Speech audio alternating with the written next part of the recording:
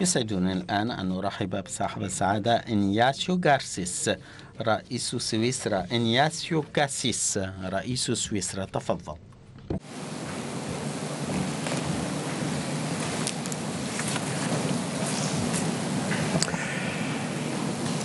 Monsieur le Président, Mesdames et Messieurs les chefs d'État et de gouvernement, Excellences, Mesdames et Messieurs, شكرا السيد رئيس. السيدات والسادة أن التغير المناخي إنما هو تحد أساسي. وقد ترك خلفه هذا العام وحده آثارا مدمرة. في الباكستان مثلا بعد أو بعد موجات الحر والجفاف في القارة الأفريقية. القرائن العلمية واضحة. علينا أن نضع حدا أقصى لانبعاثاتنا بحلول 2025 وليس بعدها. زملائي أن مؤتمر الأطراف دورته السابعة والعشرين لابد أن يؤكد على عدم ارتفاع درجة الحرارة أكثر من درجة ونصف ولكن على أساس الاقتناع.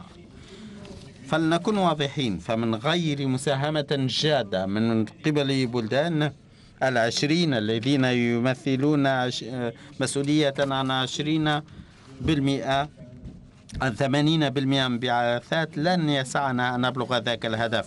أن الأفقر في هذا العالم الذين أسهموا أقل من سواهم في الانبعاثات هم الذين يعانون أكثر من سواهم. ولا يمكننا القبول بذلك. ومن ثم فإن تضافر جهودنا نحن كبلدان وكمنظمات دولية هو أمر لا بد منه. علينا أن نحد من التغير المناخي إن كنا نرغب في ذلك فعلا. وسويسرا جاهزة للقيام بذلك. ففي خلال ولاياتنا ضمن مجلس الأمن للأمم المتحدة كانت سويسرا على الدوام.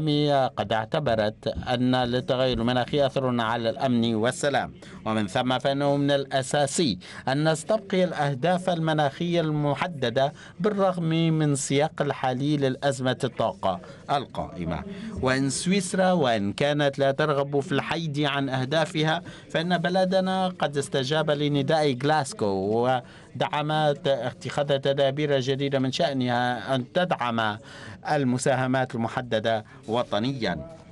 ولأول مرة في غلاسكو كانت البلدان قد التزمت بالتخلص من الكربون وكذلك أن تحذف الحوافز للمصادر الطاقة الأحفورية.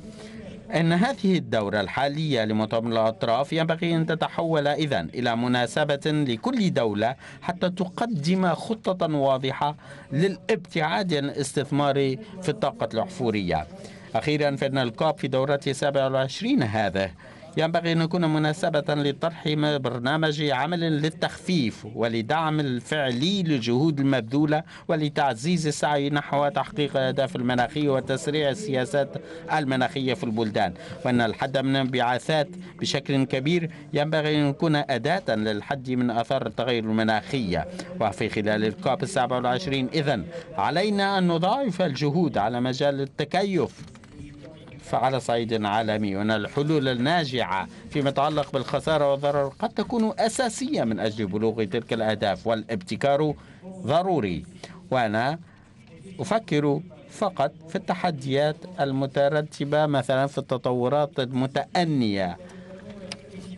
تأكيدا على قولي هذا. وكل هذا ينبغي أن يحدث وينبغي أن تغطى نفقات وذلك أن الوسائل المادية المتوفرة حاليا محدودة.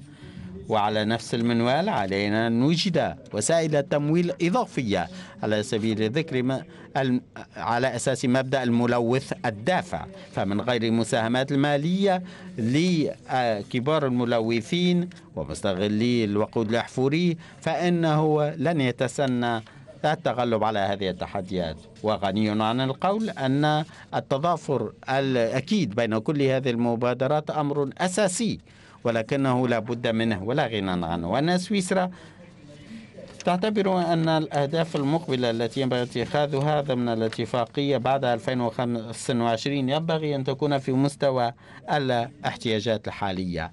السيدات والسادة أن بلدنا جاهز وأن إنفاذ أهداف جدول الأعمال 2030 إنما هو هدفنا المشترك. وبالرغم من تحديات على صعيد الطاقة التي نشهدها حاليا أن سويسرا عازمة على استبقاء أهدافها هذا أي خفض نسبة النصف لانبعاثات غازاتها بحلول 2030 ثم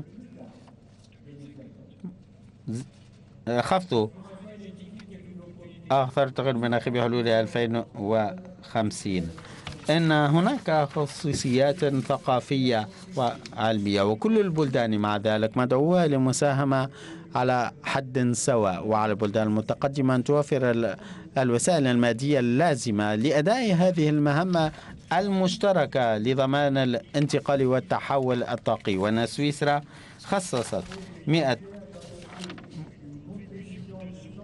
ملتزمة بالهدف. ونحن خصصنا 195 مليون فرنك على أن يوافق البرلمان على ذلك و155 مليون فرنك سويسري إلى صندوق الأخضر و12 لصندوق التغير المناخي و16 مليون للبلدان الأقل نموا في خلال السنوات الأربع المقبلة.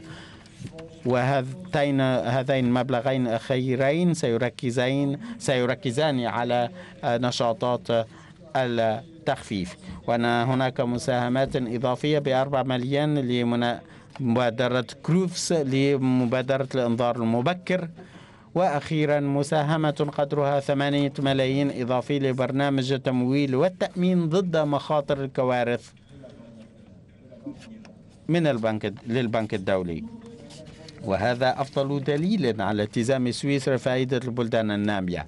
وأنا أود أن أؤكد مرة أخرى على أن سويسرا على قناعة بأن كل البلدان القادرة على ذلك. عليها أن تساعد البلدان التي تعاني أكثر من سواها من آثار التغير المناخي. أشكركم.